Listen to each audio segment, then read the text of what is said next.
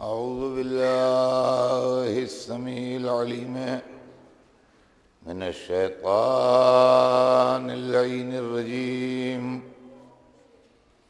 بسم الله الرحمن الرحيم. الحمد لله رب العالمين. والصلاة والسلام على سيدنا وشفيعنا أبي القاسم محمد.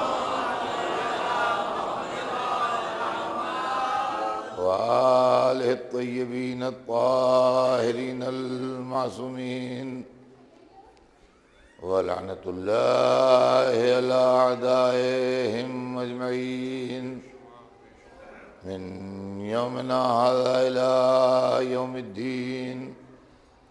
أما بعد فقد قال الله سبحانه تبارك وتعالى في كتابه المبين وهو أصدق الصادقين.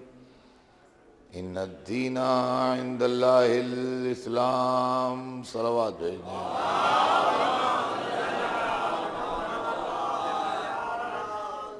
ارشاد اقدس جناب رب العزت ہے.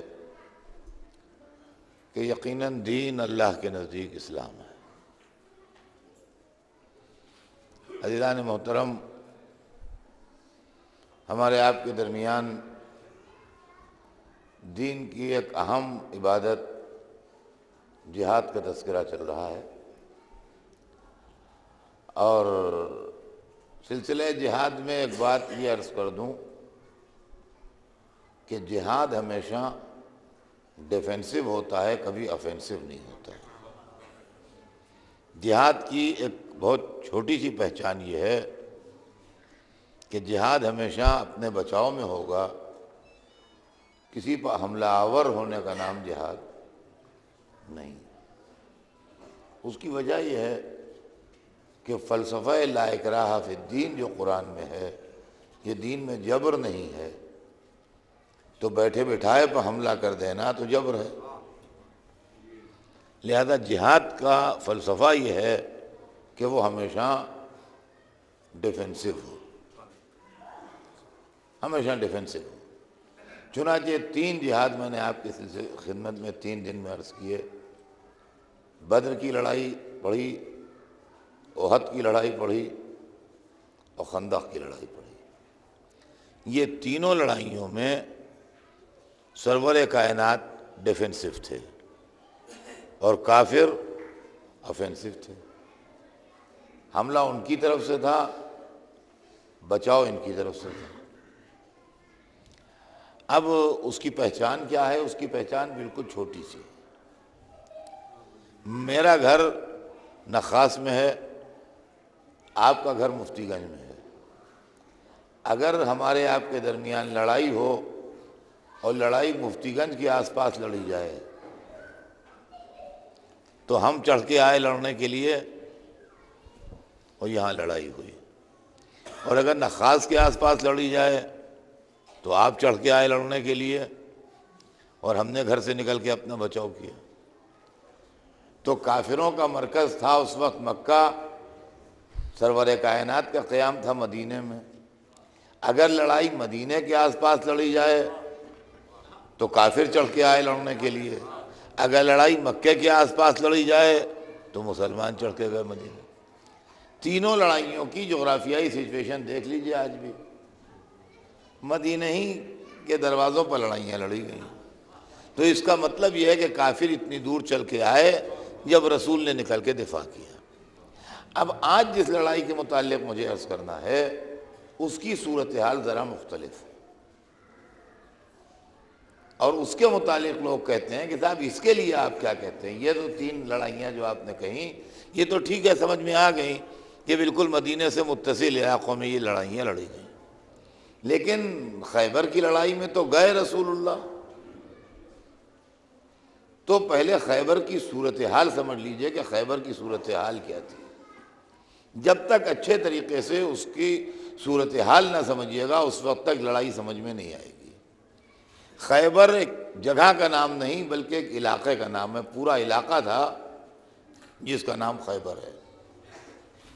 پورا ایک ڈویژن تھا جس کا نام خیبر۔ خیبر میں یہودیوں کا قبضہ تھا اور زمینوں کے مالک، باغات کے مالک، جائیداد کے مالک یہودی تھے۔ یہ وہاں بیٹھ کے اسلام کے خلاف کانسپریسی کرتے تھے اور جب ادھر سے مسلمانوں کے قافلے گزرتے تھے یا اکا دکا مسلمان گزرتے تھے تو ان کے اوپر حملہ کرتے تھے، ان کو لوٹتے بھی تھے، ان کو قتل بھی کرتے تھے، ان کے ساتھ زیادتی بھی کرتے تھے۔ رسول نے بار بار ان کو وارننگ بھیجی کہ تم اپنی ان حرکتوں سے باز آؤ، گزرنے والوں کو لوٹنے سے اور قتل کرنے سے باز آؤ، بے گناہ انسانوں کی جان لینے سے باز آؤ، ہمارے خلاف کانسپریسی کرنے سے باز آؤ۔ لیکن چونکہ وہ ان کا محفوظ علاقہ تھا اور وہ اس کے اندر اطمینان سے رہتے تھے اور وہاں کی پراپرٹی ان کے قبضے میں تھی، لہذا انہوں نے رسول کے ارشادات کے اوپر کوئی توجہ نہیں دی اور وہ اپنی حرکتوں سے باز نہیں آئے۔ جب کسی صورت سے باز نہیں آئے تو اب انتظامی نقطۂ نظر سے بغاوت کو فروغ کرنا رسول کا فریضہ تھا۔ تو وہ لڑائی بھی ڈیفینسو لڑائی ہے افینسو لڑائی نہیں۔ ہے لیکن پورے طریقے سے یہ سمجھ لیجیے کہ اگر کوئی اپنے گھر میں پناہ گزین ہو کے ستانا شروع کر دے کسی کو، تو پھر اس کے گھر کے اوپر جا کے اٹیک کرنا ضروری ہے تاکہ وہ اپنی حرکت سے باز آئے۔ چنانچہ لشکر اسلام یہاں سے لے کے سرور کائنات چلے اور وہاں پر ان کے سات قلعے تھے۔ سات قلعوں میں چھ قلعے جو تھے، ان کو قلعہ کہنا درست نہیں ہے، بلکہ وہ تھوڑے سے یہ سمجھ لیجیے کہ جیسے محفوظ مکانات ہوتے ہیں یا اس طریقے کی بڑے گھر ہوتے ہیں، جن کی دیواریں اونچی ہوتی ہیں، یہ ہوتا ہے اس طریقے کی چیزیں تھیں۔ اصلی قلعہ جو جنگی نقطۂ نظر سے بنایا گیا تھا اور جو فوجی اہمیت کا حامل تھا، وہ قلعہ قموس تھا جو ان کی جان تھا اور ان کی ساری طاقت کا مرکز تھا۔ لشکر اسلام آگے بڑھتا رہا کہیں پر ان کے مویشی رہتے تھے، کہیں پر ان کا غلہ اسٹور ہوتا تھا، کہیں پر ان کا سامان رہتا تھا۔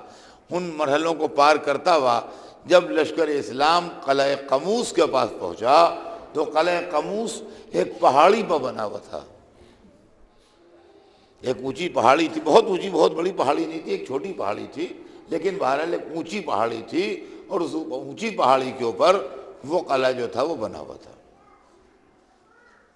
تو اصل مسئلہ جو تھا اور اصل لڑائی جو تھی، وہ یہ تھی کہ اگر قلعہ قموس فتح کر لیا گیا، جس کو قلعہ خیبر کہتے ہیں، خیبر قلعے کا نام نہیں تھا، خیبر علاقے کا نام تھا، قلعے کا نام قموس تھا۔ کہ اگر قلعہ قموس پر مسلمانوں کا قبضہ ہو گیا تو یہودیوں کی طاقت یہاں سے ٹوٹ جائے گی، اور اگر قلعہ قموس کے اوپر قبضہ نہیں ہو پایا تو مسلمان اس علاقے میں آن کے کچھ ان کا بگاڑ نہیں پائیں۔ چنانچہ جب قلعہ قموس کے اوپر حملہ شروع ہوا، تو یہیں ان کی فوج بھی رہتی تھی اور یہیں ان کے نامی گرامی پہلوان بھی رہتے تھے۔ جو ان کے فوجی جنرل تھے، وہ بھی اسی قلعے میں رہتے تھے، ان کی فوج بھی اسی میں رہتی تھی، ان کی ساری دولت بھی اسی میں تھی اور سب کچھ جو کچھ تھا وہ اسی قلعہ قموس میں تھا۔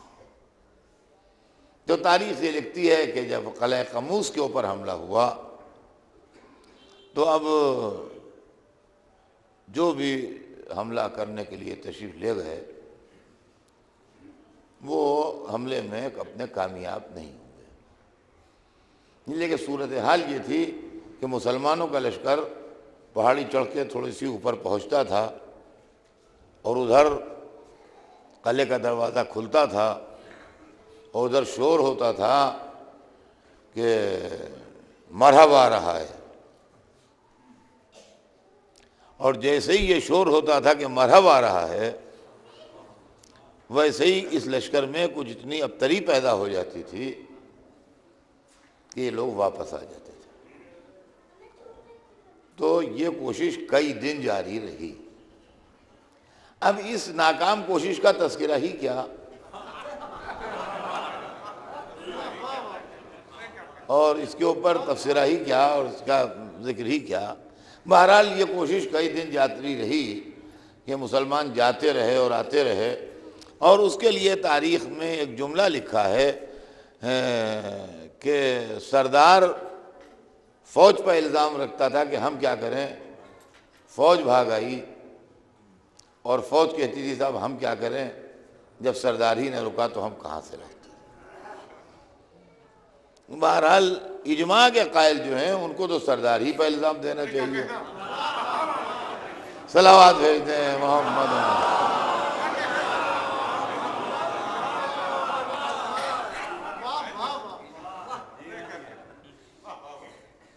بہرحال یہ سلسلہ مسلسل کئی دن جاری رہا۔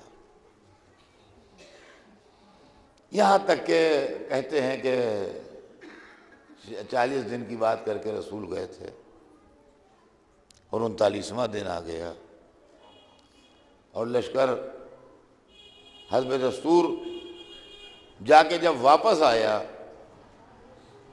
تو اور دنوں رسول اللہ نے کیا تبصرہ کیا؟ یہ تاریخ میں کہیں محفوظ نہیں ہے۔ جب نہیں ہے تو میں کون؟ اس کے اندر کچھ کہنے والا۔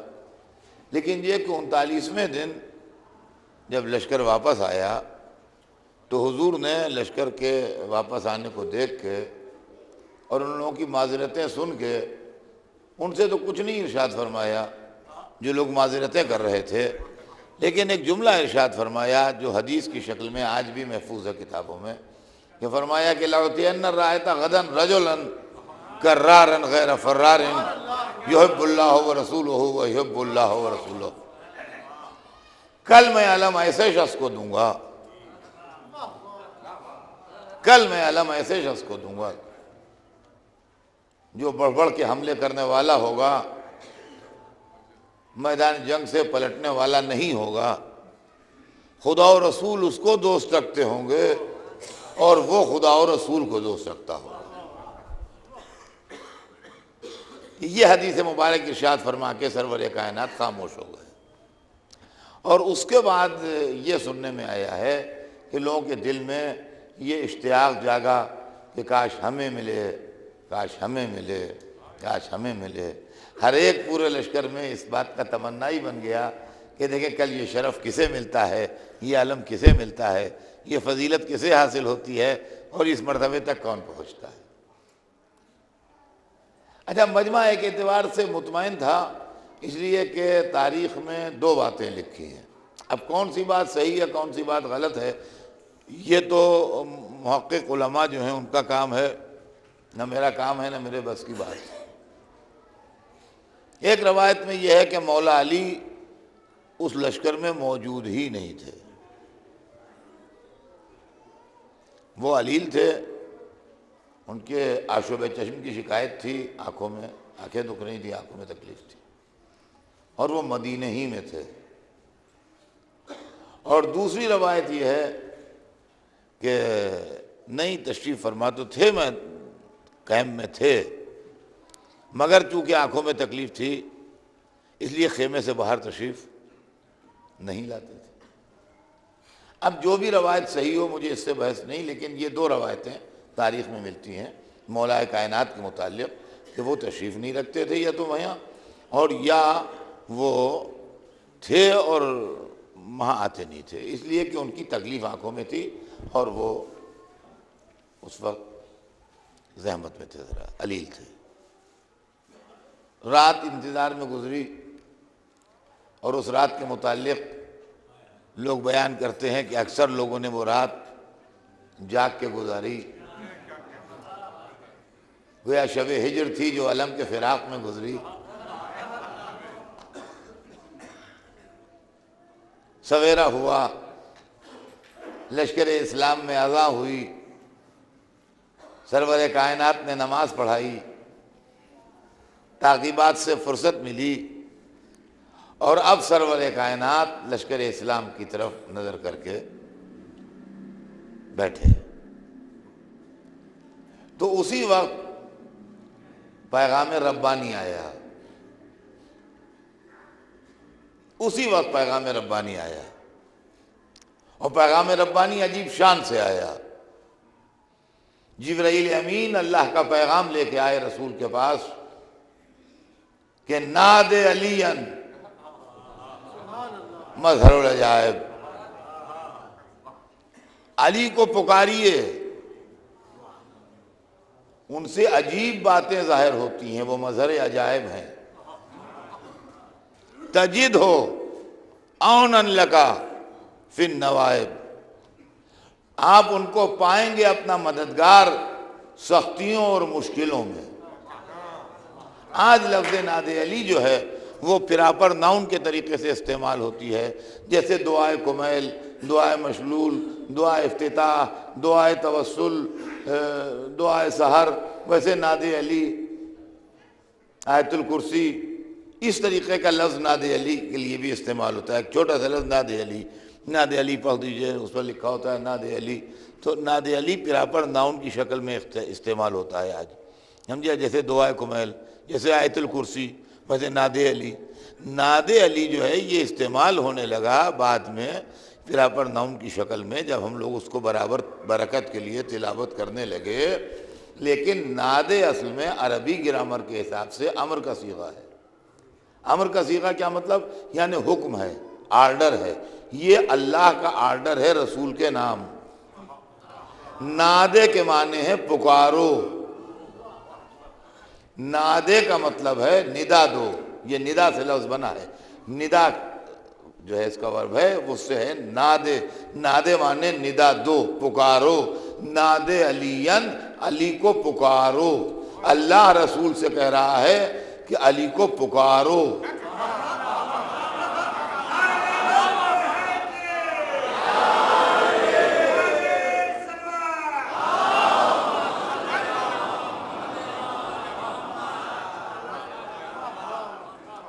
اللہ رسول سے ارشاد فرما رہا ہے کہ علی کو پکارو۔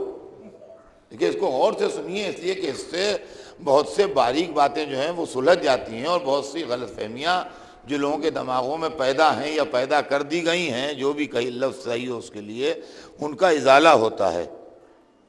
کہ اللہ کے ہوتے علی کو کیوں پکاریں؟ اللہ کے ہوتے علی کو کیوں پکاریں؟ اے اللہ، اپنے ہوتے خود کہہ رہا ہے رسول سے کہ پکارو۔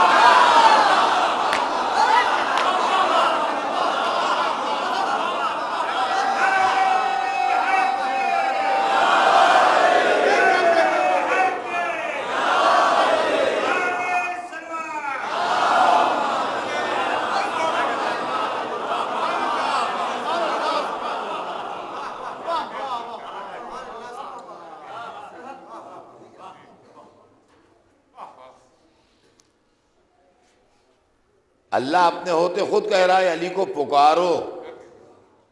اچھا دیکھیے، وہی بات زبان والی بات جو میں کل عرض کر رہا تھا، وہی آج بھی آ رہی ہے۔ گفتگو کے کئی ٹون ہوتے ہیں۔ چپکے چپکے کسی سے کان میں ہم باتیں کر رہے ہیں۔ وسپرنگ جس کو کہتے ہیں۔ عربی میں نجوا کہتے ہیں۔ انگریزی میں وسپرنگ کہتے ہیں۔ اردو میں سرگوشی کا لفظ استعمال ہوتا ہے۔ یعنی ہم مجلس میں بیٹھے ہوئے آپ کے کان میں باتیں کر رہے ہیں تاکہ دوسرے سن نہ سکیں۔ کوئی بات ایسی ہے جو ہمیں صرف آپ کو سنانا مقصود ہے، سب کو سنانا نہیں مقصود ہے۔ لہذا جو نارمل پچ ہے آواز کی، اس سے ہم آپ گھٹا کے اس پچ کو آپ کے کان میں باتیں کر رہے ہیں کہ آپ سے ہمارے درمیان جو گفتگو ہو رہی ہے، وہ دوسروں تک نہ پہنچنے پائے۔ ایک ٹون یہ ہے گفتگو کا۔ اس کے لیے لفظ دوسرا ہے۔ سرگوشی کا لفظ ہے، اردو میں، وسپرنگ کا لفظ ہے، انگریزی میں، نجوے کا لفظ ہے، عربی میں، کان میں باتیں کرنا کسی سے۔ ایک صورت یہ ہے کہ مجلس میں بیٹھے ہیں، ہم میڈیم پچ میں باتیں کر رہے ہیں کہ باتیں آپ سے کر رہے ہیں۔ مگر دو تین چار آدمی، چھ آدمی جو ہیں، وہ پاس میں بیٹھے ہوئے، وہ بھی سن رہے ہیں۔ باتیں ایک آدمی سے ہو رہی ہیں، ہم کہا چار چھ آدمی جو قریب میں بیٹھے ہیں، ان تک بھی آواز جا رہی ہے۔ یہ ایک میڈیم پچ ہے آواز کی۔ اور ایک ہوتا ہے پکارنا۔ جو پہلو میں ہوتا ہے، اس کو پکارا نہیں جاتا ہے۔ جو بالکل قریب بیٹھا ہوتا ہے، اس کو پکارا نہیں جاتا ہے۔ جی آپ؟ جو پہلو میں بیٹھا ہوتا ہے، اس کو پکارا نہیں جاتا ہے۔ اور چپکے سے نہیں پکارا جاتا ہے۔ ان کا مونگ پھلی والا ان کا مونگ پھلی والا ہے۔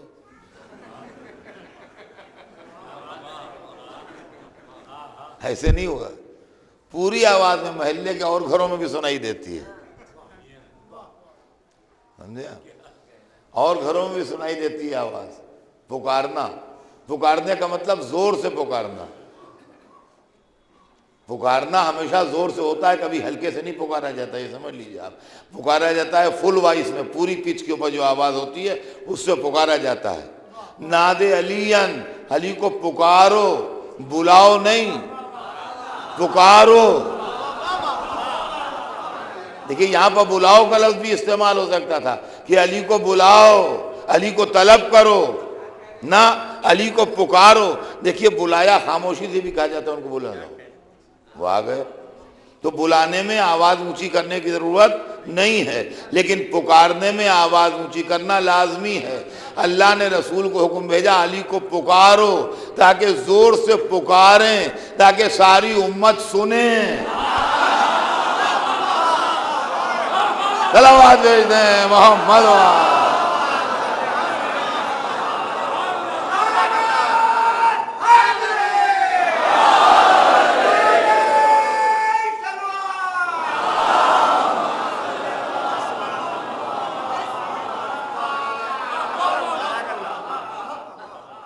ناد علی علی کو ندا دو، علی کو پکارو، علی کو آواز دو۔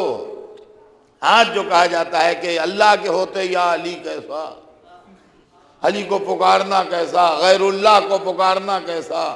ہم سب کچھ معاملے جو ہم پہ الزام رکھتے ہیں، وہ سب کچھ اللہ میاں خود کیے بیٹھے ہیں۔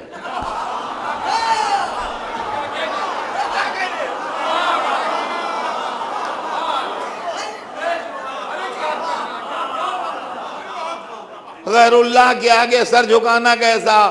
وہی سجدہ کروائے بیٹھے ہیں آدم کو۔ غیر اللہ کو پکارنا کیسا؟ وہی پکروائے بیٹھے ہیں علی کو۔ بھیجتے ہیں محمد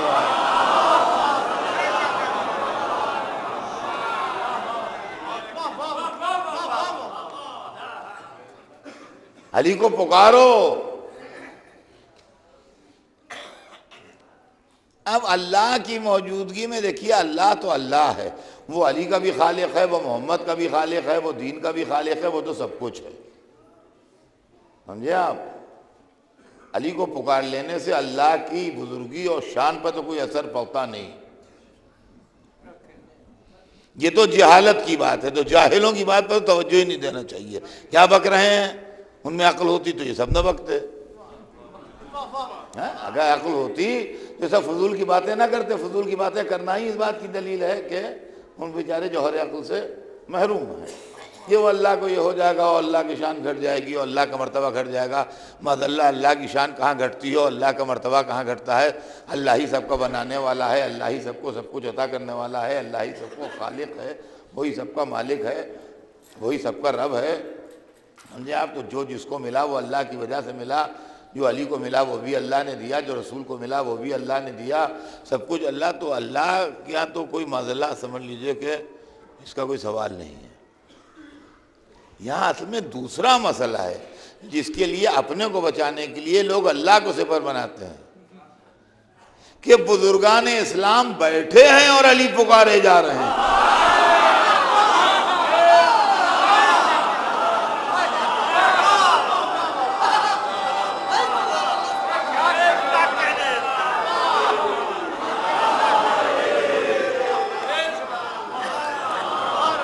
اصل معاملہ یہ ہے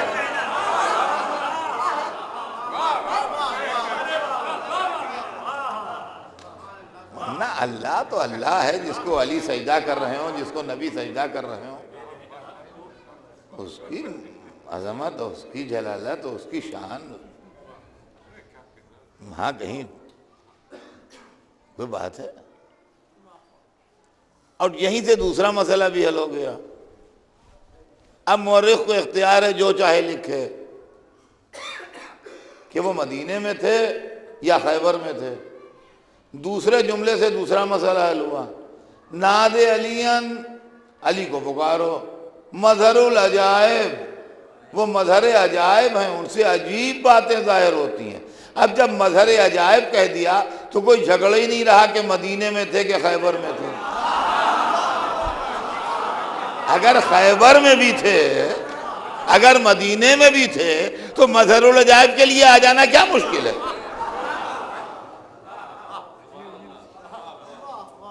ناد علی مظہر العجائب۔ تجد ہو، تم پاؤ گے ان کو۔ یہ میں بالکل لٹرل ٹرانسلیشن کر رہا ہوں۔ تجد ہو تم پاؤ گے ان کو۔ اونن لکا اپنے لیے مددگار۔ فن نوائب۔ سختیوں میں، مشکلات میں، دشواریوں میں۔ چلیے، مشکل کشا کا مسئلہ بھی حل ہو گیا۔ ارشاد پروردگار ہے کہ مشکلات میں علی مددگار ہیں۔ تو اسی کے معنی تو مشکل کشا ہیں۔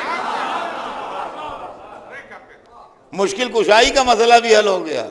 ان کا مشکل کشا کہتے ہیں، مشکل کشا کہتے ہیں، کیسے مشکل کشا کہتے ہیں؟ ہر مشکل تو اللہ حل کرتا ہے۔ بے شک ہر مشکل اللہ حل کرتا ہے، مگر اسی نے اللہ نے علی کو مشکل کشا بنایا۔ یہ چیز بچوں کو اچھے طریقے سے سمجھ لینا چاہیے اور اس میں ایک بڑی تکلیف دہ بحث آج کل بھی اخباروں میں چل رہی ہے۔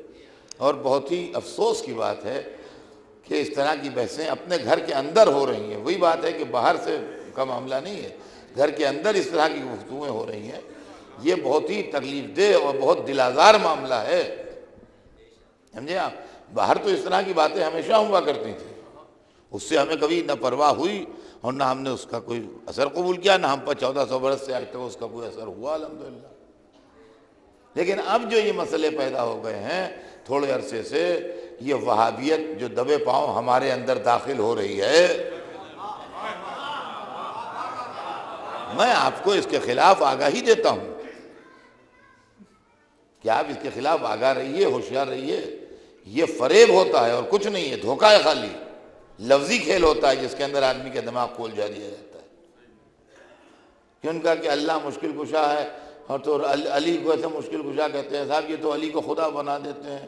اور یہ تو یہ کر دیتے ہیں، یہ تو بت پرستی ہو رہی ہے۔ چودہ سو برس سے ہم علی علی کر رہے ہیں، بت پرستی نہیں ہوئی، اگلے سال بت پرستی ہو جائے گی۔ ہاں؟ یہ کوئی بات ہوئی؟ یہ تو بت پرستی ہوتی ہے اور یہ تو خدا توحید، یہ یہ محض دشمنی اہل بیت میں کہنے والی باتیں ورنہ اس کی کوئی اصلیت نہیں ہوتی۔ سمجھے؟ اس لیے کہ اللہ نے اس کائنات کو عالم اسباب بنایا ہے اور اس کو منحصر کیا ہے وسائل کے اوپر، وسیلوں کے اوپر۔ ورنہ اللہ ہر آدمی کو ڈائریکٹ خلق کر سکتا تھا جیسے آدم کو خلق کیا ہے۔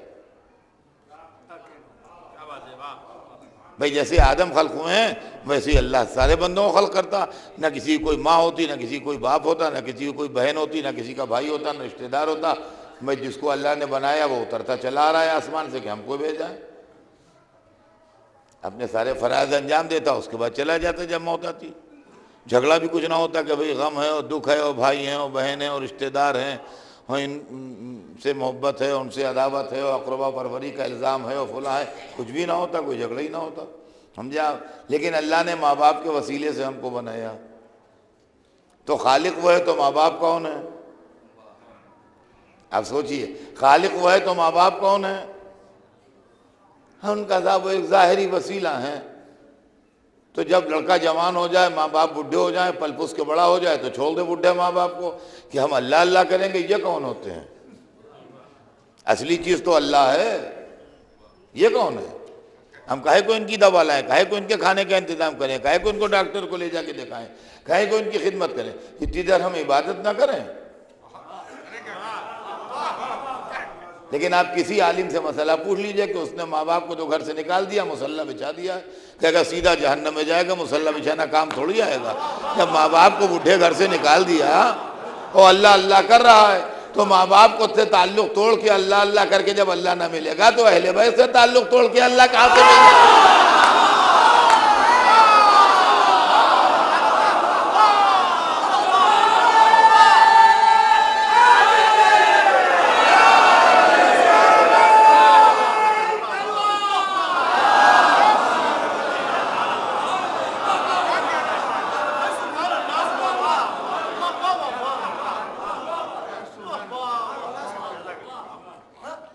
ساری پریشانیاں، ساری الجھنیں، سارے اسلام دوستیاں، سب اسی معاملے میں سب کو یاد آتی ہیں۔ اب یہ کیسے ہے، وہ کیسے ہے، وہ کیسے ہے؟ نہیں، جو اللہ ہے، جو مالک کائنات ہے، وہ کہہ رہا ہے ناد علی علی کو ندا دو، علی کو پکارو۔ مظہر العجائب، تم ان سے عجیب باتیں ظہور میں آتے ہوئے دیکھو گے، وہ مظہر عجائب ہے عجائبات کا ظہور ہوگا ان سے۔ تجد ہو اونن لگا، تم اپنا مددگار پاؤ گے۔ کیا ہم رسول کے برابر ہیں؟ رسول کی نالائن کے خاک کے برابر بھی نہیں ہے رسول تو رسول ہے وہ مٹی جو ان کی نالین پاک سے مس ہو جائے، ہم اس کے برابر بھی نہیں ہیں۔ تو جب اتنی بڑی طاقت سے، جس کا نام محمد عربی ہے، یہ کہہ دیا گیا کہ اپنی مشکلوں میں ان کو مددگار پاؤ گے، تو ہماری کیا حیثیت ہے؟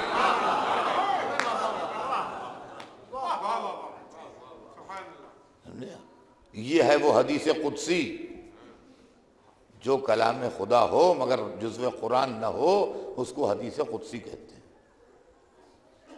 جو کلام خدا بھی ہو اور جزو قرآن بھی ہو، وہ تو قرآن پاک ہے۔ لیکن جو کلام خدا ہو مگر قرآن کا جز نہ ہو، وہ حدیث قدسی کہلاتی ہے۔ تو یہ حدیث قدسی ہے جو ناد علی ہے، یہ حدیث قدسی ہے۔ یعنی کلام خدا ہے مگر کلام پاک کا جز یہ نہیں ہے۔ لہذا اس کو حدیث قدسی کی کیٹیگری میں علماء نے شمار کیا ہے یہ حدیث قدسی ہے، ارشاد ربانی ہے۔ اللہ نے روز خیبر اپنے رسول کو یہ حکم بھیجا جبرائیل کے ذریعے سے کہ ناد علی علی کو پکارو تجد ہو اون لکا فن نوائب تم ان کو اپنی مشکلات میں، اپنی دشواریوں میں اپنا مددگار پاؤ گے۔ جیسے ہی حکم ربانی آیا ویسے ہی رسول نے مجمع کو دیکھ کے کہا، آئے نا علی۔ علی کہاں ہے؟ اور ادھر سرکار کے دہان اقدس سے لفظ علی نکلا۔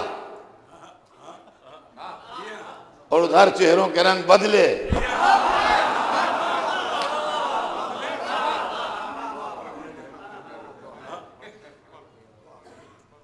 کسی قریبی نے اٹھ کے دستے ادب جوڑ کے کہا کہ سرکار وہ تو علیل ہیں اور ان کی آنکھوں میں بڑی تکلیف ہے۔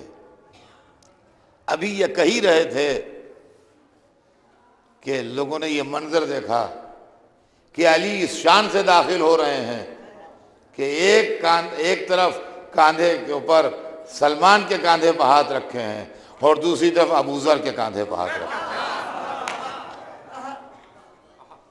اس شان سے داخل ہو رہے ہیں۔ مولا علی کہ ایک ہاتھ جناب سلمان کے کاندھے پہ ہے اور ایک ہاتھ جناب ابوذر کے کاندھے پہ ہے۔ آنکھوں میں تکلیف ہے۔ لہذا ایک سہارا ایک طرف جناب سلمان کے کندھے پہ ہاتھ رکھے ہوئے ہیں اور ایک طرف جناب ابوذر کے کندھے پہ ہاتھ رکھے ہیں۔ ہمارے استاد تھے، محسن الملت، مولانا محسن سا قبلہ اللہ مقامہ۔ اور بڑے زبردست خطیب بھی تھے، نوجوانوں کو نہیں یاد ہوں گے، مگر بزرگ لوگ اس کا اعتراف کریں گے۔ یہ بڑے زبردست خطیب تھے۔ وہ اس موقع پر یہ فرمایا کرتے تھے کہ ایک طرف دس درجے کا ایمان، ایک طرف نو درجے کا ایمان، بیچ میں کل ایمان۔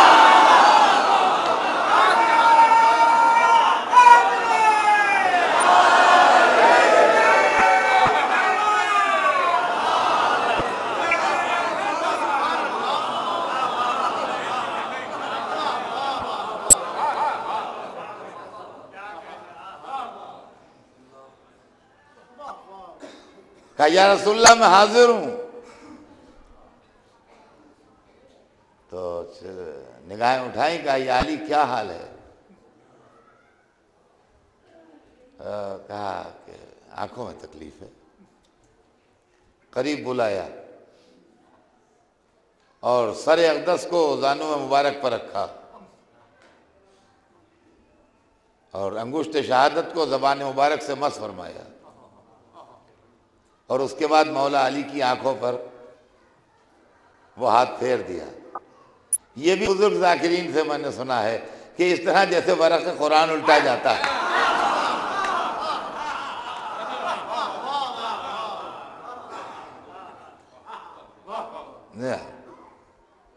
اور مولا علی فرماتے ہیں کہ اس کے بعد پھر مجھے کبھی آنکھوں کی کوئی تکلیف ہوئی نہیں۔ کبھی کوئی آنکھوں میں کوئی تکلیف ہوئی نہیں۔ تو بس کوئی تکلیف ہی نہیں تھی، غائب ہو گئی تکلیف۔ کہا، کیا حکم ہے؟ کہا، یہ علم لے جاؤ۔ تو تاریخ بتاتی ہے کہ علم کو لیا۔ گھوڑے پر سوار ہوئے۔ اور لشکر کی تیاری کا انتظار نہیں فرمایا۔ اس کی ایک لشکر تیار ہوگا، سوار ہوگا، زرہ پہنیں گے، خود پہنیں گے، یہ ہوگا، وہ ہوگا، سب کچھ ہوگا، تو اس میں ٹائم لگے گا۔ لشکر کی تیاری کا انتظار نہیں فرمایا۔ لشکر آتا رہے گا بعد میں۔ لیکن ابھی لشکر کا کام نہیں ہے۔ لشکر کی تیاری کا انتظار نہیں فرمایا۔ علم ہاتھ میں لیا۔ روایتوں میں ہے کہ وہ پرچم جو تھا، جو سرور کائنات کے ہاتھ سے ملا تھا، اس کو ہوا میں تین مرتبہ ایسے حرکت دی۔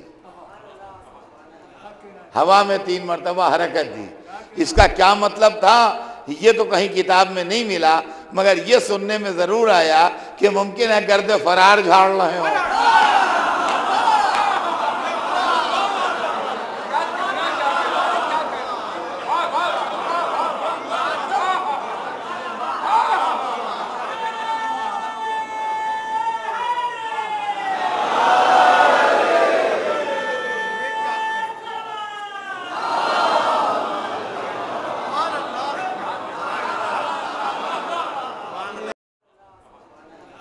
ہوا میں تین مرتبہ حرکت دی۔ اس کا کیا مطلب تھا؟ یہ تو کہیں کتاب میں نہیں ملا، مگر یہ سننے میں ضرور آیا کہ ممکن ہے گرد فرار جھاڑ رہے ہوں۔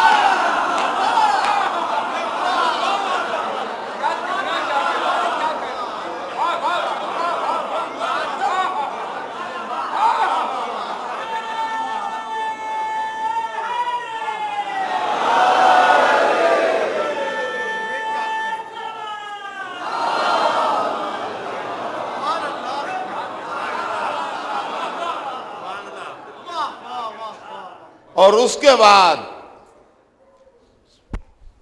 گھوڑے کو آگے بڑھا دیا مڑ کے یہ نہیں دیکھا کہ لشکر آ رہا ہے کہ نہیں آ رہا ہے، کون کس تیاری میں آتے رہیں گے لوگ۔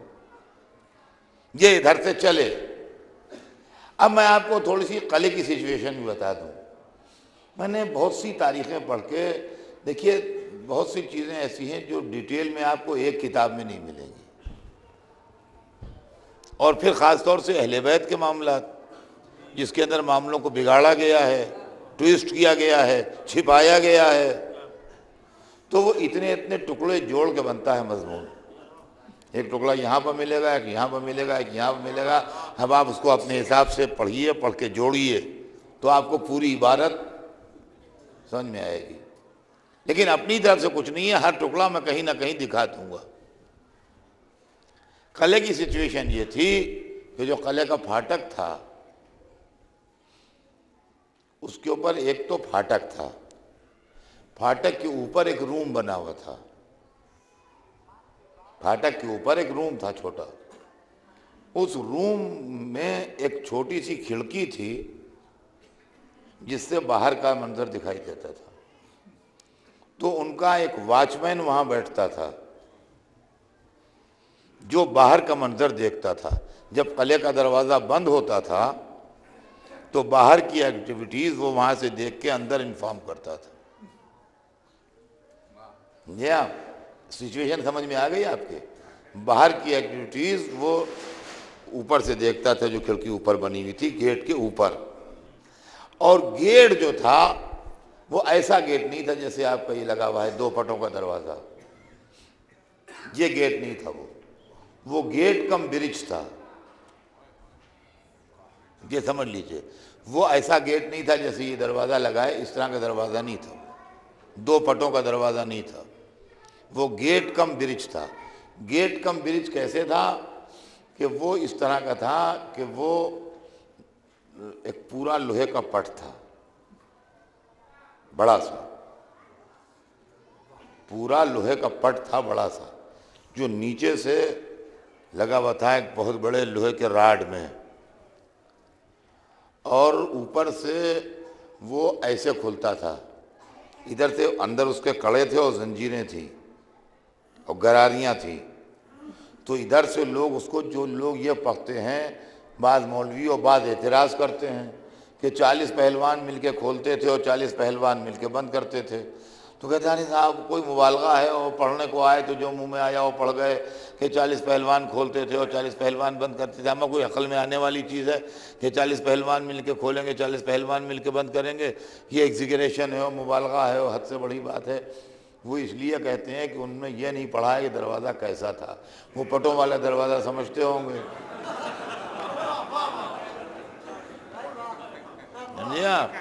لہذا ٹھیک ہے بھائی، اس دروازے کو کھولنے میں لوہے کا ہو، کسی چیز کا ہو، چالیس آدمی میں کیا ضرورت ہے؟ وہاں یہ تھا کہ اس زمانے میں کوئی ڈیولپ زمانہ تھا نہیں، کوئی کرین سسٹم تو تھا نہیں، کوئی وہ چیز تو تھی نہیں کہ جس کی وجہ سے کسی مشین کے ذریعے وہ کھلے بند ہو۔ وہ سب جو تھا وہ مینول تھا، ہاتھ سے ہوتا تھا سب۔ تو وہ اتنا بڑا لوہے کا کئی، کتنے ٹن وزنی وہ وہ ادھر سے ڈھیلے دھیرے دھیرے اس کو وہ چھوڑتے تھے ادھر سے۔ اب وہ زنجیریں گھوم رہی ہیں۔ اب وہ نیچے اتر رہا ہے۔ وہ ایک دم سے دھڑ سے نہیں آتا، ورنہ ادھر گراریاں ٹوٹ جائیں گی سب۔ جب جھٹکا کھائے گا، نیچے والی۔ سمجھے آپ؟ لہذا وہ دھیرے دھیرے دھیرے دھیرے دھیرے کر کے آتا تھا۔ جب وہ نیچے تک آ جاتا تھا تو یہی زنجیریں جیسے لگ جاتی تھیں پوری اس کو سپورٹ کے لیے۔ ہیں؟ اور وہ کھندق جو آگے کھدی ہوئی تھی قلعے کے، وہ اس کے اوپر آ جاتا تھا۔ تو اب یہ برج ہو گیا۔ یہی گیٹ برج ہو گیا۔ اب لوگ آنے جانے لگے۔ اور جب انہیں دروازہ بند کرنا ہوا، تو ادھر سے انہوں نے کھینچنا شروع کیا۔ کھینچنا شروع کیا کھنچ گیا۔ کھنچ گیا تو دروازہ اوپر اٹھ گیا۔ اب یہ خندق آ گئی سامنے۔ تو یہ تصویر سامنے آ گئی نا آپ کے ذہن کی، کیا صورت حال تھی اس کی؟ وہ گیٹ بھی تھا اور برج بھی تھا۔ جب کھل جائے تو برج ہے، اور جب اوپر اس کو اٹھا لیں وہ، تو گیٹ بن جاتا تھا۔ اور سامنے خندق آ جاتی تھی، کوئی اس کو پار نہ کر سکے۔ تو وہ گیٹ کم برج تھا۔ یہ جی جی جی جی۔ تو وہ ہے کلوں میں بہت سی جگہوں پر، لیکن یہ کہ اس زمانے میں بھی تھی ٹکنی۔ تو گیٹ کم برج تھا وہ۔ بہرحال وہ آدمی وہاں بیٹھا تھا۔ جو اس کو دیکھ رہا تھا باہر کے منظر کو، تو وہ روز ہی دیکھتا تھا۔ اس لیے کہ لشکر اسلام کی ایکٹیویٹیز وہاں پر جو تھیں، وہ اس کو دیکھ کے نیچے رپورٹ دیتا رہتا تھا۔ اس دن ہی بیٹھا تھا۔ یہودی تھا۔ کچھ پڑھا لکھا قسم کا بھی آدمی تھا وہ۔ کتابیں بھی یہودیوں کی اس نے کچھ پڑھی تھیں۔ سمجھا اس نے جو آنے والے کے تیور دیکھے اور کچھ نشانیاں دیکھیں اور کچھ علامتیں دیکھیں تو اس کو توریت کا کچھ لکھا یاد آیا۔ اور اس نے یہ منظر دیکھا کہ آنے والے نے آتے ہی سامنے جو ادھر ایک پہاڑی کا ٹکڑا تھا، اس کے اوپر جو اپنا علم، جس کی چوب جو تھی، وہ بانس کی تھی۔ وہ بانس ہوتا ہے۔ اس کی چوب جو تھی، وہ بانس کی تھی۔ تو اس نے جو اس کو زور سے مارا پتھر کے اوپر، تو ایسا لگا جیسے پتھر نہیں موم ہے۔ پتھر نہیں موم ہے یہ۔ اب دیکھیے، تعجب نہ کیجیے گا۔ اس لیے کہ ہر جگہ آپ کے تعجب کو رفع کرنے کے لیے مظہر العجائب چلتا رہے گا ساتھ میں۔ آنے والے سوار نے اپنے ہاتھ میں جو پرچم لیے تھا، اس کو سامنے چھوٹی سی ایک پہاڑی کا ٹکڑا تھا سا اونچا اس کے اوپر اس نے اس کو رکھ کے زور سے مارا ہی تو ایسا لگا کہ جیسے وہ پتھر کے دل میں اتر گیا، پتھر نہیں، موم ہے یہ۔ اس نے یہ منظر دیکھا اور پیچھے پکار کے کہا کہ رب موسا کی قسم تم ہار گئے۔ رب موسا کی قسم تم ہار گئے۔ آج وہی آیا ہے جس کا ذکر تورات میں ہے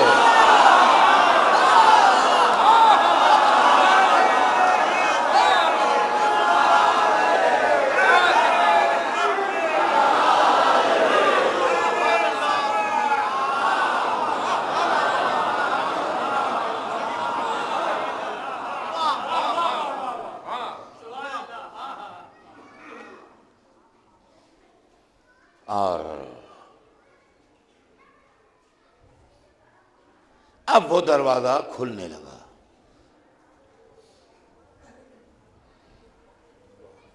اس لیے کہ روز تو لشکر آتا تھا، آج لشکر آیا نہیں۔ آج لشکر آیا نہیں۔ دروازہ کھلنے لگا، دروازہ کھلا۔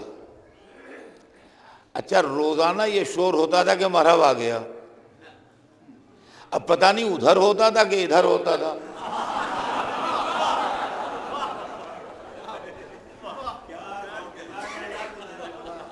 یہ ہم نے تاریخ سے پوچھا نہیں، یا تاریخ کو یاد نہیں، یا تاریخ نے بتایا نہیں۔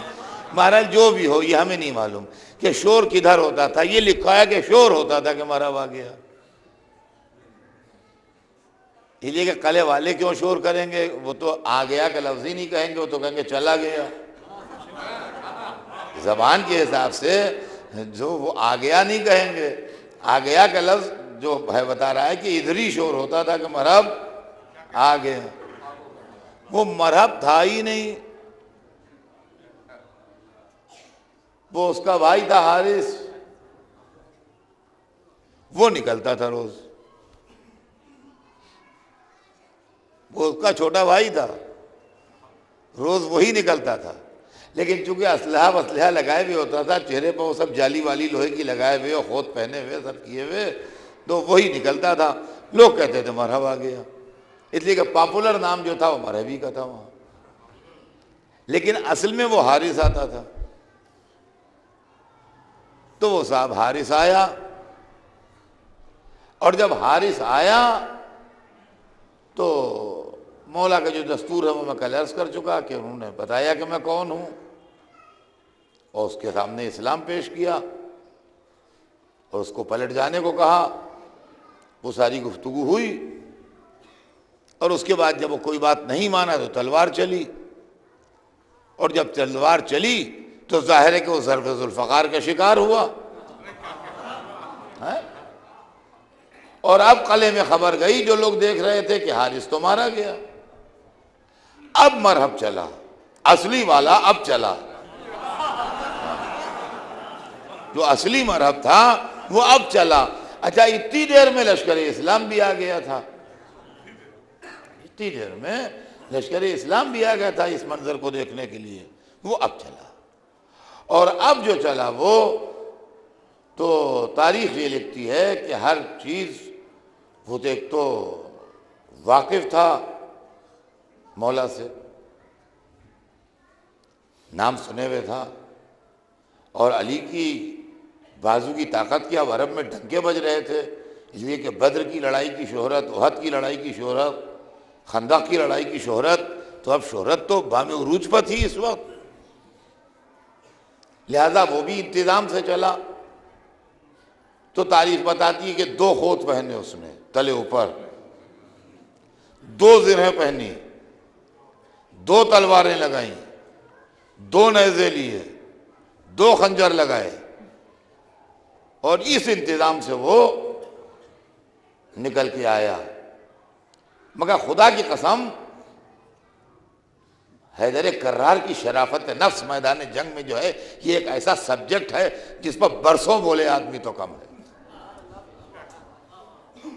دیکھیے، دوستوں کے ساتھ، عزیزوں کے ساتھ، رشتہ داروں کے ساتھ شرافت کا برتاؤ، اعلیٰ ظرفی کا برتاؤ، یہ بھی قابل تعریف ہے، کوئی بری بات نہیں ہے۔ مگر مقام تعجب نہیں ہے، لیکن دشمنوں کے ساتھ علی ظرفی، قاتلوں کے ساتھ شرافت مخالفین کے ساتھ نیک نفسیاں، یہ حیدر کرار کا شیوا ہے جو دنیا میں کہیں نہ ملے گا۔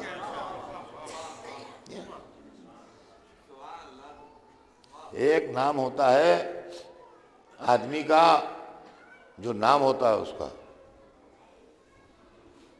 جو اس کا نام ہوتا ہے، جس سے وہ جانا پہچانا جاتا ہے، دفتر میں، اس میں اس میں، ہر جگہ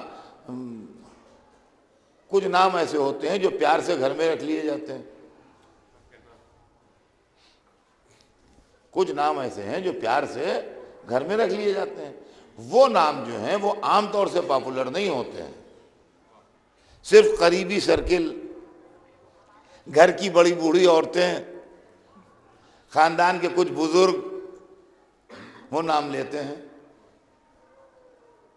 اس کے علاوہ وہ نام جو ہے وہ گھریلو نام ہوتا ہے جو پیار میں رکھا جاتا ہے۔ وہ گھریلو نام ہوتا ہے جو پیار میں رکھا جاتا ہے۔ اس نام سے عام طور سے لوگ واقف نہیں ہوتے ہیں۔ ان کا عام طور سے وہ رضوی صاحب ہیں رضوی صاحب رضوی صاحب رضوی صاحب۔ تو رضوی صاحب کے نام سے مشہور ہیں۔ ہمارے دوست ہیں، محمد حسین رضوی ہیں دنیا میں کہیں۔ اچھا ان کا گھریلو نام شہزادے ہے۔ تو ظاہر ہے کہ ان کی ماں نے، ان کی نانی نے، ان کی دادی نے کسی نے پیار میں، بچپن میں ان کا نام شہزادے رکھ دیا ہوگا۔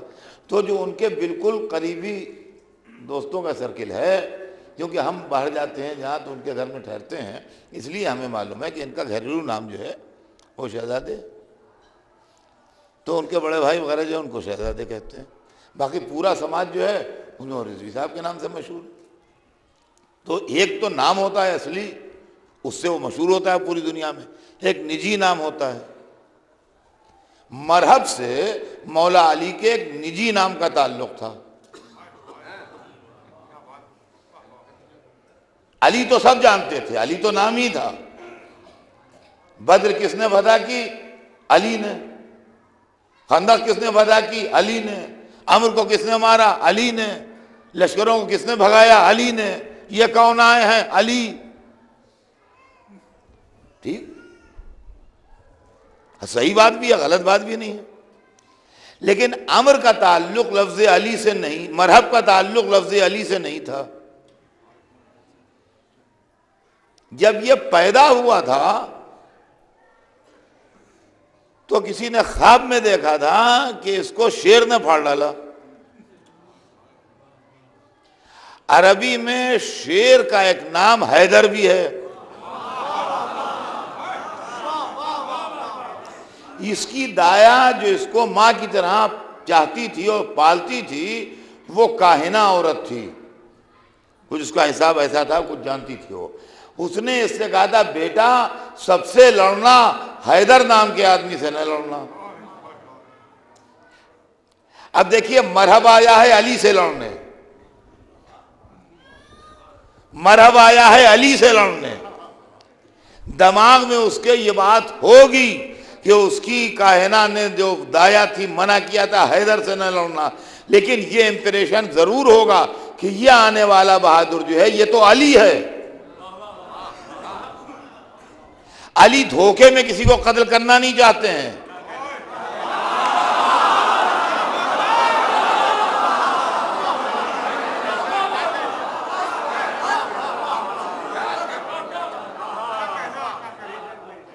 عزیزان گرامی، یہ عجیب و غریب نام ہے۔ عجیب و غریب بات ہے۔ لوگ کہتے ہیں نام سے کیا ہوتا ہے؟ نام سے کیا ہوتا ہے؟ لفظوں سے کیا ہوتا ہے؟ عجیب، بہت کچھ ہوتا ہے۔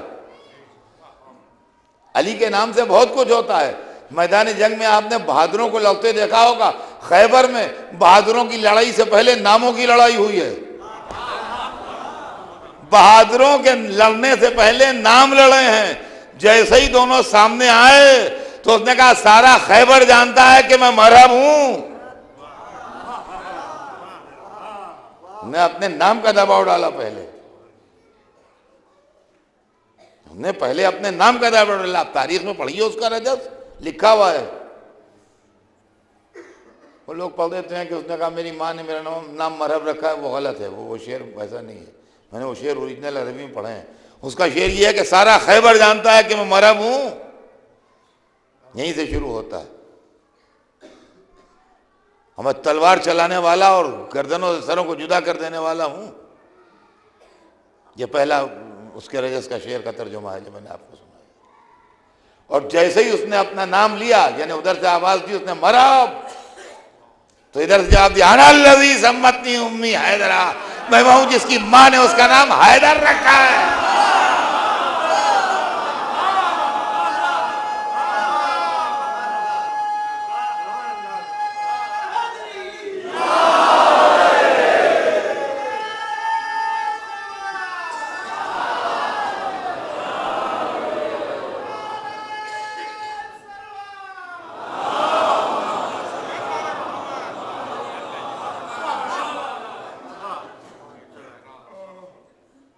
سبحان اللہ، کمال ہے شرافت علی۔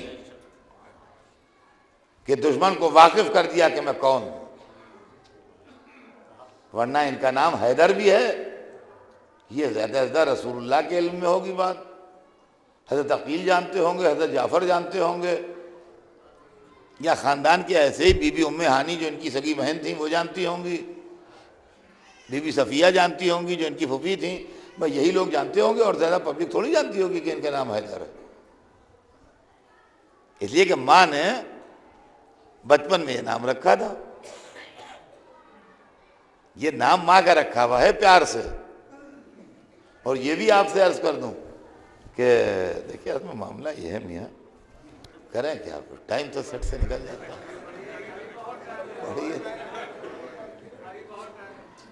ٹائم تو بہت ہے۔ مگر مولا علی کے فضائل کے لیے دنیا کی عمر نہ کافی ہے، ٹائم بہت کہاں ہے کم ہے ٹائم کم ہے۔ نہیں آپ کی اطلاع کے لیے عرض گھنٹہ میں ہو گیا ہے۔ خیر، اور کل ہمیں جمل صفین پڑھنا، اس کی بڑی فرمائش ہے، بڑی زبردست فرمائش ہے۔ اور انشاءاللہ کل زندگی رہی تو سناؤں گا آپ لیکن آج تو اتنا کہ جب مولا علی کی ولادت باسعادت ہوئی ہے،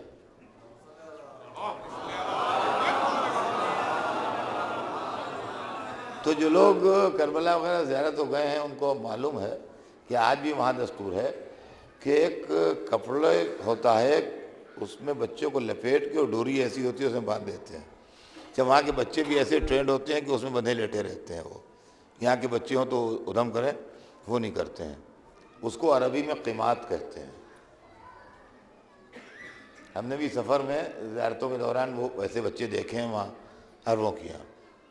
کہ مائیں ان کو ہمیں لپیٹ دیتی ہیں۔ تو یہ بڑا پرانا رواج ہے وہاں۔ تو سرور کائنات بیٹھے تھے۔ جناب، بی بی بنت اسد لے کے آئی تھیں۔ وہاں سے خانہ کعبہ سے تو بچے کو ایک قیمت میں لپیٹا۔ انہوں نے ایسے کیا، وہ ڈوریاں ٹوٹ گئیں۔ انہوں نے دو قیمتوں میں لپیٹا۔ ڈوریاں ٹوٹ گئیں۔ تین قیمتوں میں لپیٹا۔ پھر عید کیا، ایسے ڈوریاں ٹوٹ گئیں۔ اور اس کے بعد پھر ایک مصری کپڑے قیمت میں لپیٹا ایک چمڑے کا قیمت تھا، ٹوٹ گئے۔ تو ان کا چچی، آپ اس کے ہاتھ باندھیے نا جس کو اللہ نے آزاد کیا ہو۔ اور اسی کے بعد انہوں نے آزاد ہاتھوں سے رکھ کے وہ سانپ کو رگڑ دیا۔ تو ماں نے کہا کہ یہ تو حیدر ہے۔ یہ یہ ماں نے نام رکھا پیار سے۔ ظاہر ہے کہ ماں نے کلیجے سے لگایا ہوگا، پیار کیا ہوگا، اور اس کے بعد کہا ہوگا، یہ میرا لال تو حیدر ہے۔ اب آپ اس کو پرابرناؤن کی حیثیت سے استعمال کرتے ہیں۔ گویا اس زمانے میں، اردو کی زبان میں زبان میں یوں سمجھ لیجیے کہ ماں نے اس کو کلیجے سے لگا یہ تو شعر ہے۔ یہ اب تو حیدر ہمارے کیا شعر کے معنوں میں استعمال نہیں ہوتا نا؟ لہذا ہمیں سمجھ میں نہیں آئے گا۔ ماں نے کلیجے سے لگا کے کہا عربی میں، یہ تو شعر ہے۔ تب یہ ماں کا رکھا ہوا نام تھا۔ کہ میں ہوں کہ جس کی ماں نے اس کا نام حیدر رکھا ہے۔ ہوشیار ہو گیا کہ یہ اچھا یہ وہی آ گیا آج۔ اب اس پر دوسری ضرب لگائی۔ کہا کہ پلٹ جا۔ پلٹ جا۔ ہم تجھ سے لڑنا نہیں چاہتے۔ تجھ سے جھگڑا کرنا نہیں چاہتے، پلٹ جا۔ جب یہ سنا دیا کہ حیدر ہوں، تو اب سمجھ گیا کہ یہ اپنے دل میں سوچ رہا ہوگا کہ آج میں مارا جاؤں گا۔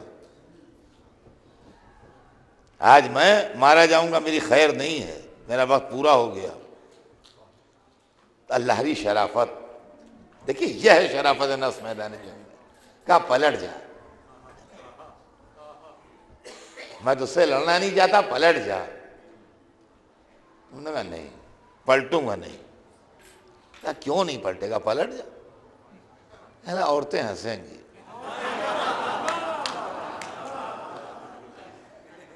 ہم اچھے اچھوں سے تو یہودی اچھے لواد بھیج دیں محمد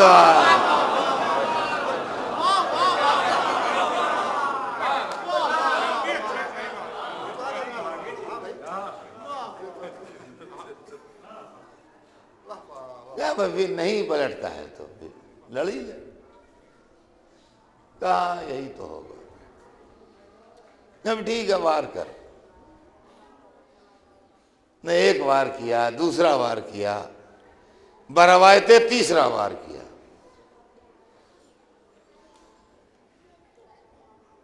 اور جب وہ دو یا تین وار کر چکا، یہ میں اپنی طرف سے نہیں پڑھ رہا ہوں، یہ کتاب کی لکھی پڑھ رہا ہوں کہ دو وار کیا اس نے یا تین وار کیا اس نے، اس میں الگ الگ کتابوں میں۔ بہرحال دو وار تو ضرور اس نے کیے۔ اب تین بھی کیے، یہ بھی بات انہوں نے لکھا ہے، بس جو بھی ہو۔ دو وار کیے تین وار کیے، اس کے بعد فرمایا کہ میرے وار کو روک۔ اور عزیزان گرامی، مولا کی لڑائیاں تو میں نے آپ کو بہت سنائی، لیکن یہ تیغ حیدر کرار ہے۔ اس کی صفائی دیکھنا آسان نہیں ہے، نہ ہر ایک کے بس میں ہے۔ اس لیے کہ یہاں مسئلہ یہ تھا کہ یہ جو آیا تھا علی سے لڑنے، یہ دو در ہیں، دو تلواریں دو نیزے، دو خود، دو ترکش، دو تم کمانے۔ ہر چیز ڈبل لے کے آیا تھا علی کے مقابلے میں۔ بس تاریخ لکھتی ہے کہ جب علی نے کہا کہ میرے زد کو سنبھال، تو ایک مرتبہ رکابوں پیر جم کے جما کے اونچے ہوئے۔ اور اس کے بعد ذوالفقار چمکی، چونکہ میرا مولا امام عادل تھا، سیکنڈوں میں، ایک مرحب کے دو مرحب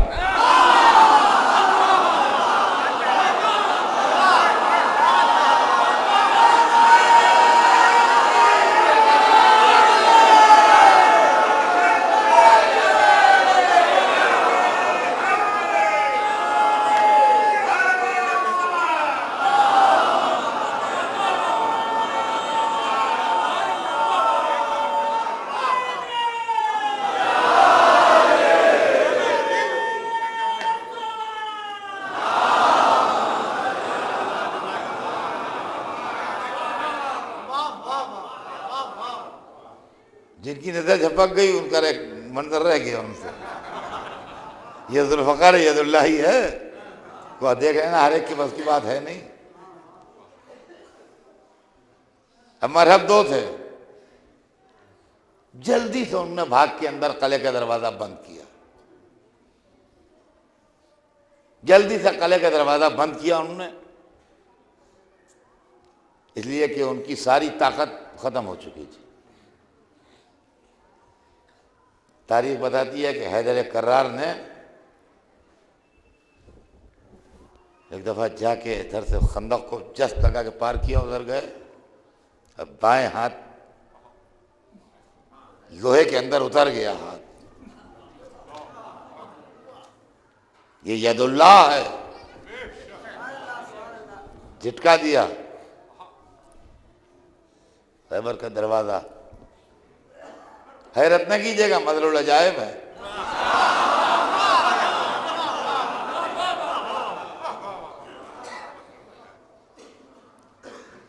اب ادھر لشکر میں عید ہو گئی۔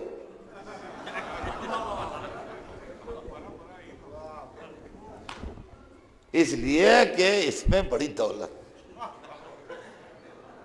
یہودیوں کی جمع کی ہوئی دولت سب اس قلعے میں۔ مولا علی خندق کے ادھر کھڑے ہیں، لشکر خندق کے ادھر ہے، دروازہ ٹوٹ چکا ہے۔ اب وہ زنجیریں زنجیریں تو ٹوٹ گئیں۔ اب یہ چھوٹا پڑ جائے گا خندق کے اوپر۔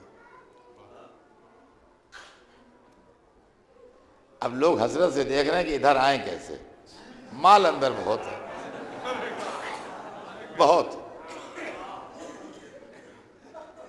تو مولا علی دیر تک ان کا اشتراف دیکھ نہ پائے اور دروازہ کھینچ کے ایک طرف سے ہاتھ پر روکا، ایک طرف سے ادھر زمین کی طرف لگایا ادھر۔ راستہ بن گیا کہاں بھیا ہو کہا تھا کہ حضور گھنٹوں کا معاملہ ہے؟ میں ہاتھ جوڑ کر مولا، ایک خاص موقع پہ ہاتھ ذرا ترچھا کر دیجیے۔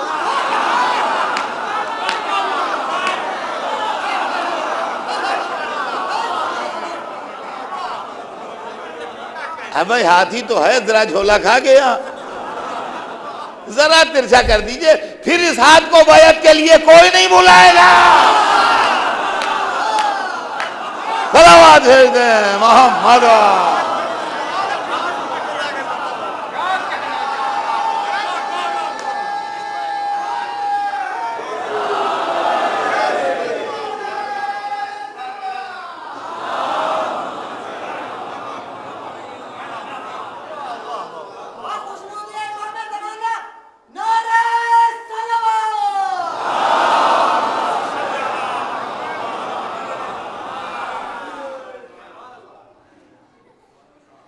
بھیج دیں محمد کل انشاءاللہ۔ جمل و کی تاریخی لڑائیاں پڑھوں گا۔ زندگی رہی اگر تو۔ لیکن آج ایک بات آپ سے عرض کر دوں کہ ہم غلامان حیدر کرار اس بات کے لیے بدنام ہیں آج کل۔ خیبر خندق پہنچتے ہیں۔ واہ واہ کے لیے پہنچتے ہیں۔ قوم کے فائدے کا خیال نہیں ہے۔ علی کے فضائل کے مقابلے میں فائدہ سوچنا بڑی یہودی فکر ہے۔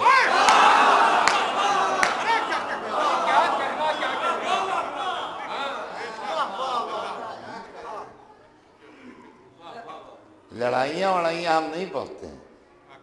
ایک تو اس لیے پہنچتے ہیں کہ ہمارے بچے علی کی فضیلت و افضلیت و اہمیت سے واقف رہیں۔ یہ ہمارا ڈیفنس ہے۔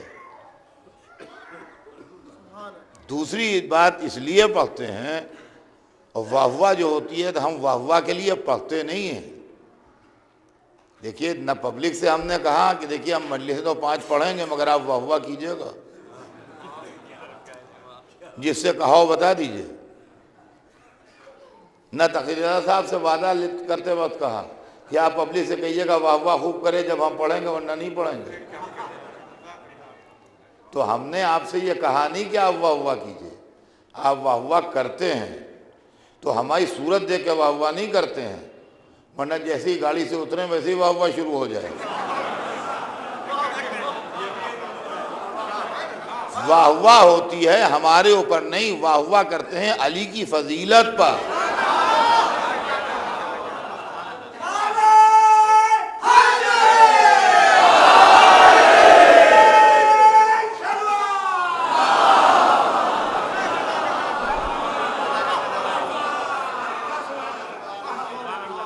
تو واہ ہوا جو ہے، یہ ہمارے کھاتے میں اس کا اندراج نہیں ہوتا ہے۔ اس واہ کا اندراج ہمارے کھاتے میں نہیں ہوتا ہے۔ ہاں ہم کوئی اچھی شیروانی پہن کے آئے، آپ کہیں بہت عمدہ ہے، یا کوئی مثلا عمدہ گھڑی لگائیں، آپ کہیں بہت اچھی لگی ہے گھڑی آپ کو، وہ الگ بات ہے۔ وہ ہمارے کھاتے میں جائے گی مگر یہ جو واقعات پر واہ واہ ہو رہی ہے زور سے، یہ مولا علی کے فضائل سن کے ان کے چاہنے والے واہ واہ کر رہے ہیں۔ اس واہ واہ کی محرک محبت ہے۔ تو اب واہ واہ پر اعتراض نہ کیجیے، محبت علی پر اعتراض کیجیے کہ کیوں ہے؟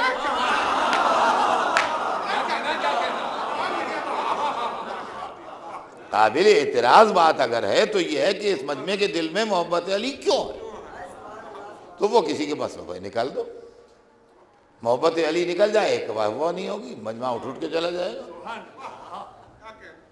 آنے والا مجمع بھی اٹھ اٹھ کے منہ بنا بنا کے چلا جائے گا۔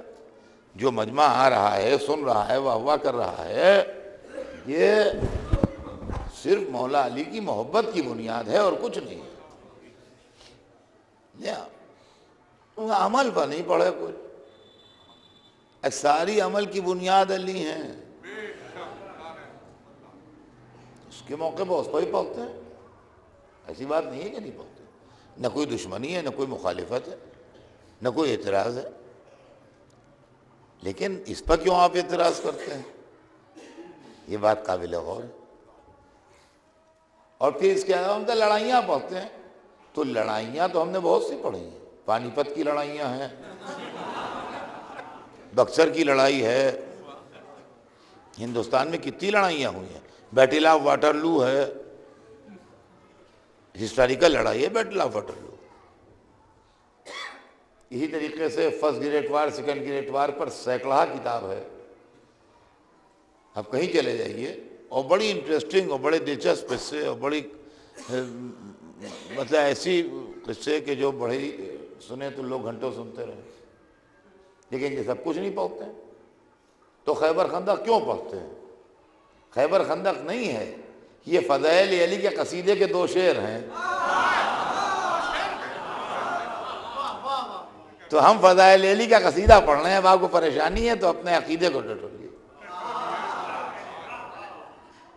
تو عزیزان گرامی، یہ ہے فاتح خیبر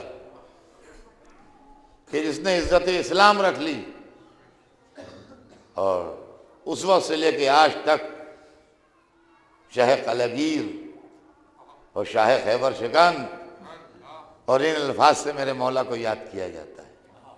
اور بھائی، جس کے آدمی کی کامیابی ہوتی ہے، وہ خوش ہوتا ہی ہے۔ ہر ایک آدمی اپنے اچیومنٹ بیان کرتا ہے اور اپوزیشن جلتے ہی ہے۔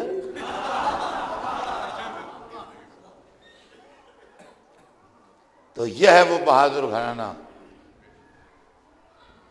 اور اس کے بعد جب لڑائی ختم ہوئی اور خیبر کے قیدی اسیر ہو کے رسول اللہ کے سامنے آئے، تو اس وقت سرور کائنات نے بھی ایک اعلیٰ مثال قائم کی اسلامی جہاد کی۔ مرد کی بہن صفیہ، جو بعد میں اسلام قبول کرنے کے بعد زوجہ رسول بنی اور ام المومنین صفیہ کے نام سے یاد کی گئیں، ان کو حضرت بلال جو رسول کے بڑے چہیتے مؤذن تھے ادھر سے لائے تھے جدھر مرحب کی میت پڑی تھی۔ تو ان کے چہرے پر بڑی عجیب کیفیت تھی۔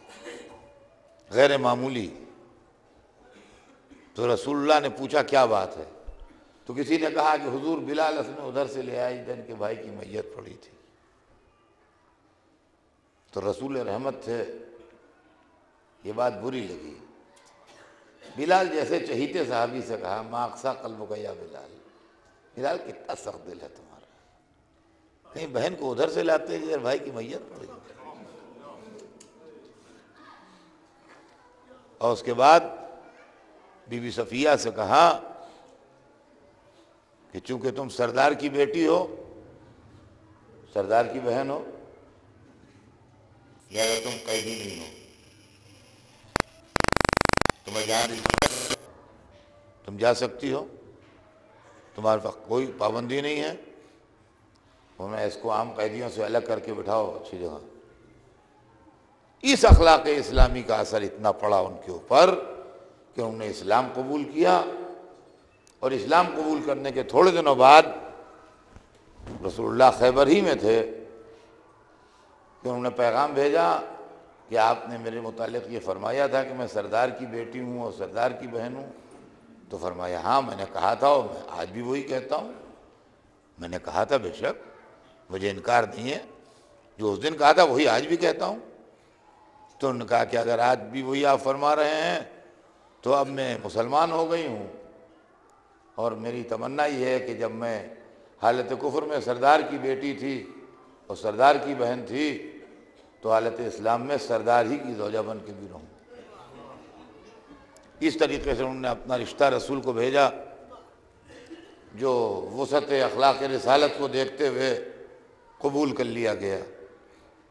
اور اس طرح وہ امہات مومنین کی فہرست میں شامل ہو گئی۔ عزیزان گرامی، یہ واقعات ہمیں بات کی تاریخ میں خون کے آنسو لاتے ہیں۔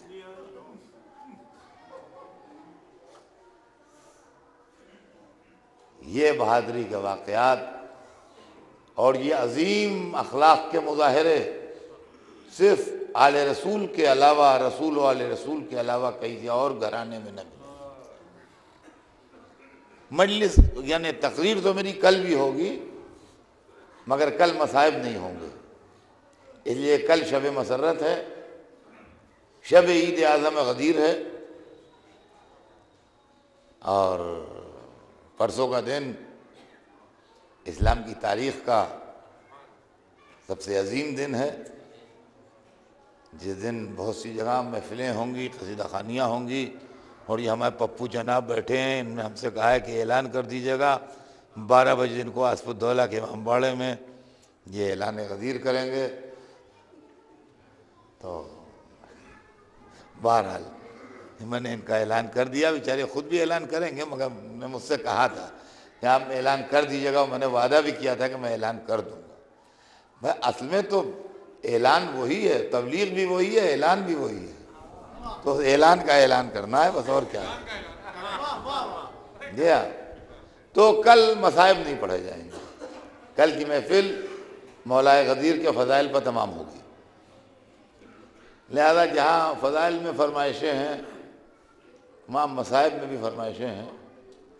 اور بہت دن سے ہمارے بھائی تقیرہ صاحب کی فرمائش یہ تھی کہ امام حسین کا جہاد سناؤ۔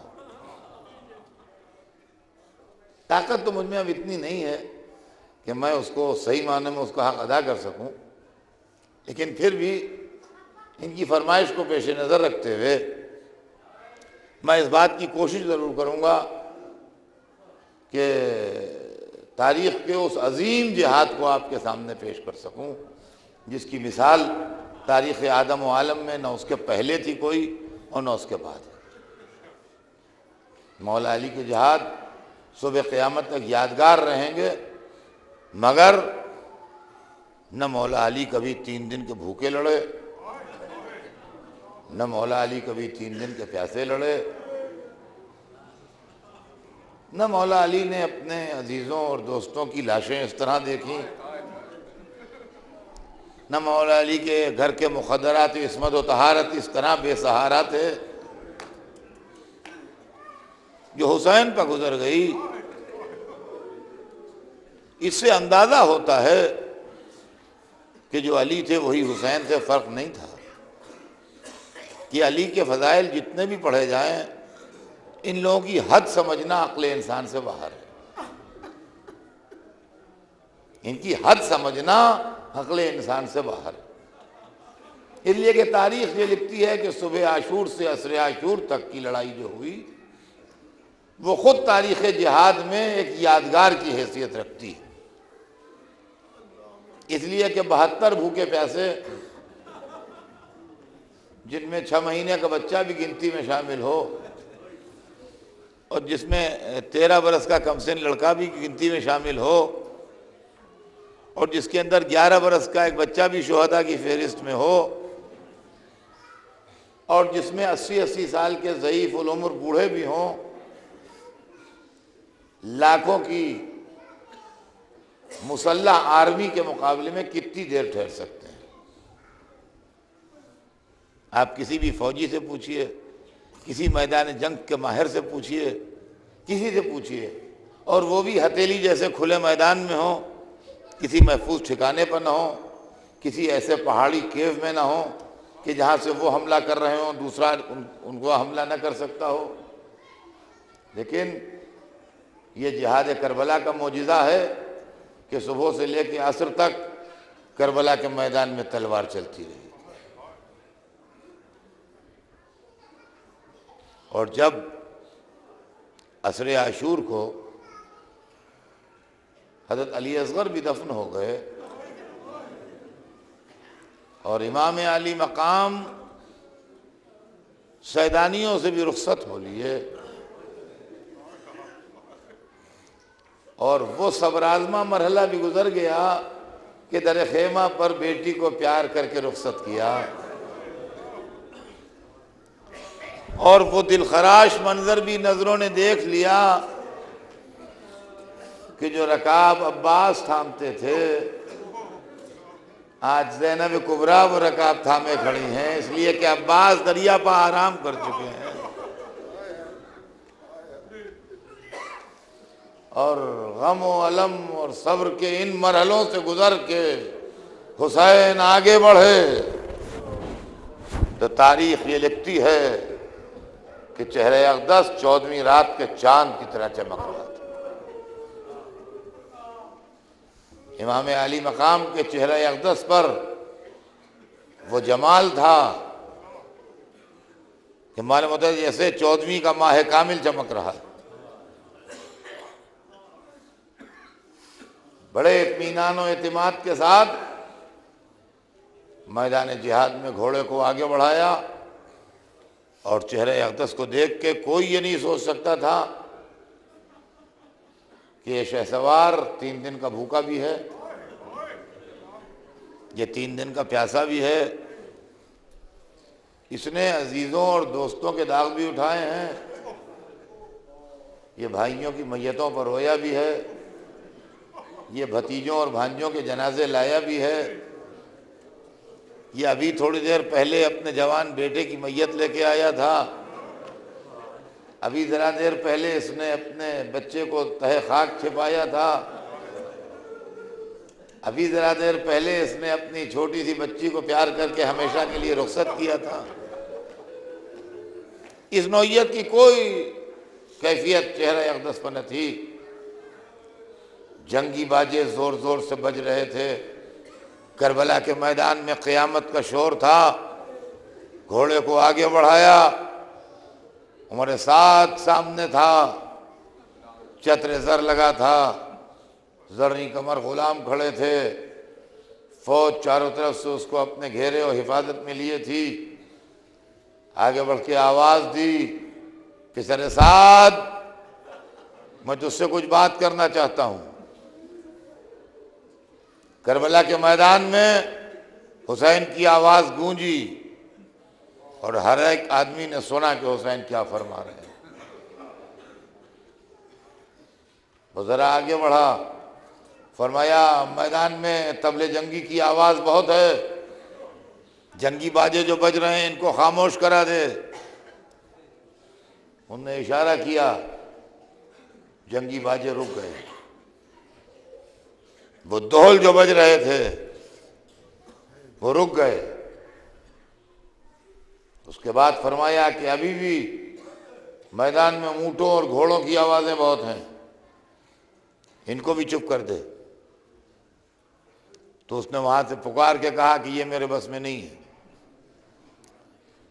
باجے تو میں رکوا سکتا تھا، لیکن یہ میرے بس میں نہیں ہے کہ میں ان کو چپ کر دوں۔ تو فرمایا، صحیح کہا تو نے، یہ بے شک تیرے بس میں نہیں ہے۔ اچھا تو یہ میرے بس میں ہے، میں ان کو چپ کیے دیتا ہوں۔ یہ کہہ کے دست مبارک اٹھایا اور انگشت شہادت سے ایک اشارہ کیا۔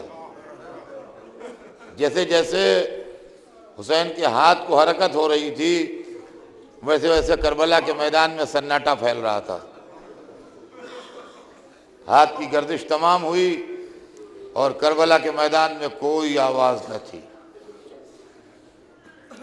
جب بالکل سناٹا چھا گیا تاکہ اتمام حجت کی منزل ہے، کوئی یہ نہ کہہ سکے کہ ہم نے سنا نہیں۔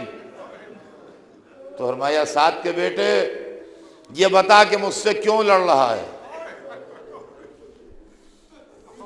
دیکھیے، یہ تلوار چل رہی ہے۔ سارے لوگ امام کے معموم ہیں۔ لہذا اب تک جنہوں نے تلوار چلائی، اجازت امام سے چلائی۔ چونکہ یہ مسلمان نہ صحیح، مگر کہتے اپنے کو مسلمان ہیں۔ لہذا امام کس سے اذن لے؟ سوائے خدا کے اور کوئی امام کو اذن نہیں دے سکتا۔ یا رسول موجود ہوں تو رسول موجود نہیں ہے۔ علی اذن رسول سے لڑتے تھے۔ تو اب اللہ اذن دے، حسین کو تو حسین لڑیں۔ کہا، ساتھ کے بیٹے، یہ بتا مجھ سے کیوں لڑ رہا ہے؟ تو وہ لائن اپنی رکابوں پر زور دے کے اونچا ہوا انہوں نے وہاں سے پکار کے کہا، یا حسین بغزن لے ابھی۔ اے حسین، تمہارے باپ کی عداوت میں تم سے لڑنا ہے سارے مجمع نے یہ بات سنی۔ اور جب سارے مجمع نے یہ بات سن لی، تو حسین کو اللہ کی طرف سے حکم جہاد مل گیا۔ جو کر ملا، حدیث رسول ہے، وہ بغض کا کفر و نفاق۔ یا علی، تمہاری عداوت کفر ہے یا نفاق ہے؟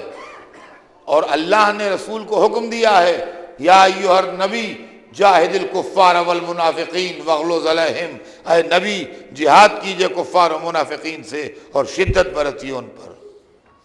تو اب حسین نائب رسول کی حیثیت سے اللہ کے حکم کے مطابق کفار و منافقین سے جہاد کے حقدار ہیں۔ اب اس کے بعد کچھ نہ فرمایا۔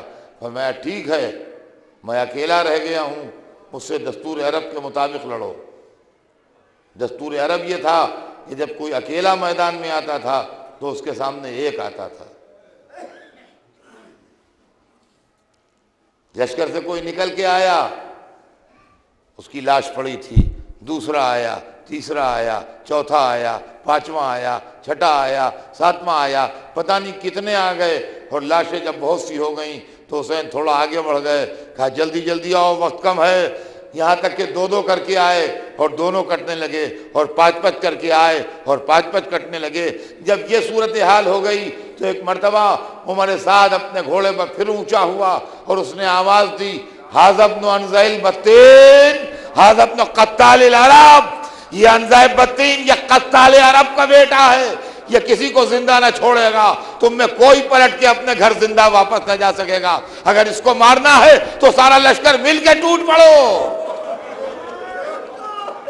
جب دستور اسلام پامال ہو رہے ہوں تو دستور عرب کیا چیز ہے؟ راوی کہتا ہے کہ لشکر سمندر کی لہروں کی طرح حسین کے اوپر بڑھنے لگے۔ ایک مرتبہ حسین جہاں پر کھڑے تھے، وہاں سے ذرا سا پیچھے ہٹ کے لشکر کے بائیں کنارے پر حملہ آور ہوئے اور اس کو لشکر کے دہنے کنارے پر پلٹ دیا اور اس کے بعد دہنے کنارے پر حملہ آور ہوئے اور اس کو بائیں کنارے پر پلٹ دیا اور اس کے بعد آستینے الٹے ہوئے تھے، سب خس کے قبا پہنے ہوئے تھے۔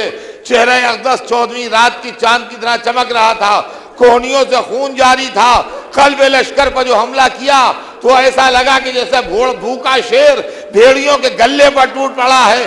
حسین تلوار چلاتے ہوئے لشکر میں جا رہے تھے اور کبھی کبھی تلوار نیام میں رکھ لیتے تھے۔ ادھر ادھر کھڑی ہوئی فوجوں کے سر ٹکراتے ہوئے گزر جاتے تھے اور لاشوں کے انبار لگ جاتے تھے۔ اور راوی کہتا ہے، میں ایک بلندی میں کھڑا، یہ منظر دیکھ رہا تھا کہ فوجوں کو ان کے سردار للکار رہے ہیں۔ اور سمندر کی موجوں کی طرح فوجوں حسین پر ٹوٹ رہی ہیں۔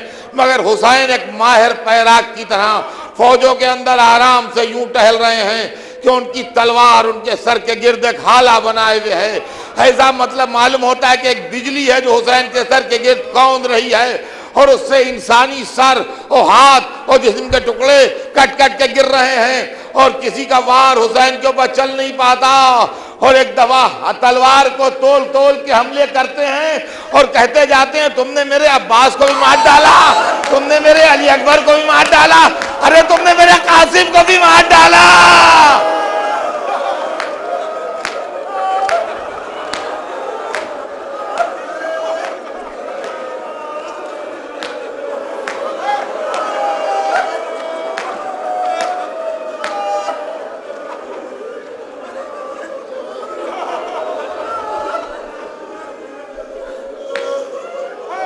فوج میں ابتری ہے، نشان زمین پر پڑے ہیں، سردار ادھر بھاگ رہے ہیں، لشکر ادھر بھاگ رہا ہے۔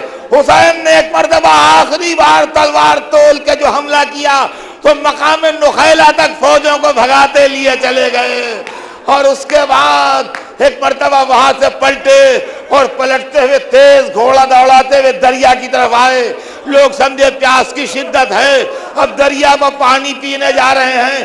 مگر حیرت ہوئی جب دریا سے کچھ پہلے گھوڑے کو لو روکا، رکابوں پر زور دے کے اونچے ہوئے۔ جیسے کسی کو دیکھنا چاہتے ہو، آواز دی، عباس، تم نے بھائی کی لڑائی نہ دیکھی۔